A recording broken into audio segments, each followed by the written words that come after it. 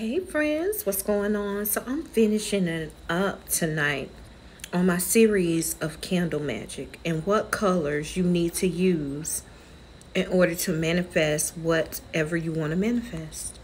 And tonight I'm on yellow. Yellow candles are oftentimes used to represent solar energy as well as the element air.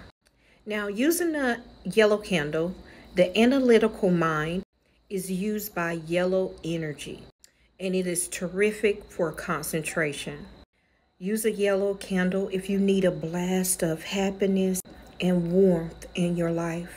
And it is also excellent for divination and clarity in your life. Some other ways you can use yellow candles as well in magic is for abundance, intelligence, memory, mental health, confidence, charm, beauty, and studying. Now use a yellow candle for any of those things that you need to represent or bring in or release in your life, okay? All right, many blessings to you.